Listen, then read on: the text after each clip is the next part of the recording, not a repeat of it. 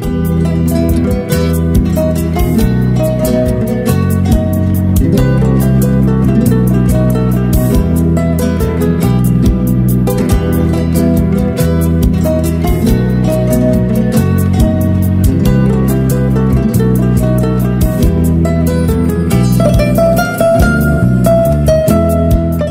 Gran trayectoria profesional. ¿Cuántos años lleva tú ya pintando? Ai, já muitíssimos anos.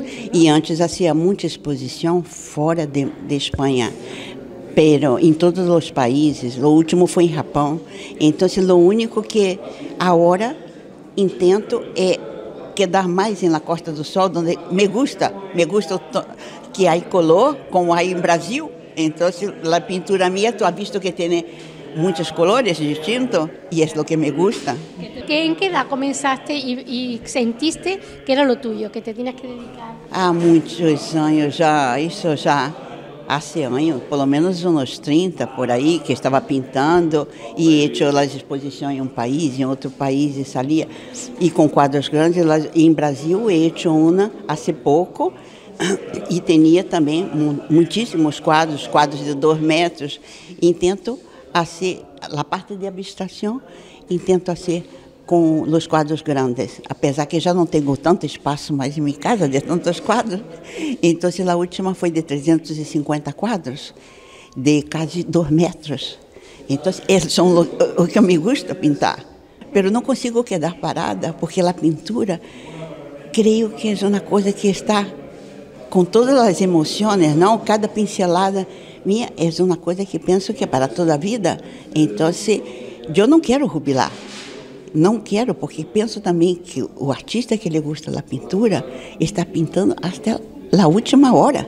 ¿Te has tenido que desprender de alguno que te haya dado mucha pena desprenderte de? Sim, muitas vezes.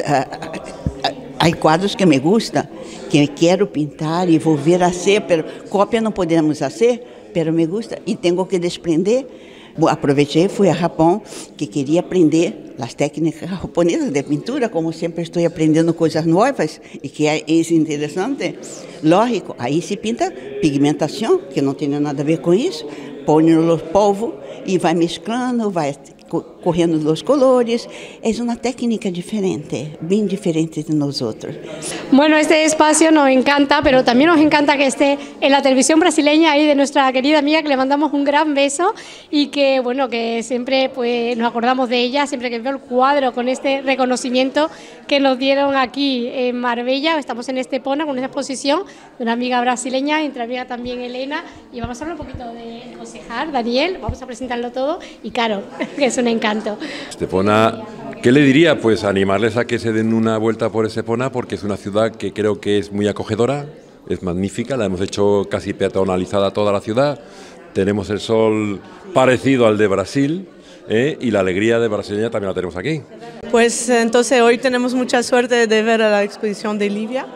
Eh, las pinturas bueno, y la artista son alegre, llena de colores, de, de, alegría y la verdad que es un encanto. Muchas gracias. Estefano es muy bonito porque los, las casas todas, el edificio, tienen dibujos, cada dibujo más bonito que otro. Cualquier calle te inspirará. Se me olvidó decir que Estefona está llena de plantas, de flores, de árboles que en ese sentido se parece mucho a Brasil. Y saludo para esta televisión brasileña, que esperamos que vengáis también aquí a la Costa del Sol, que os recibiremos con los brazos abiertos y vamos, y lleno de flores. Gracias a todos.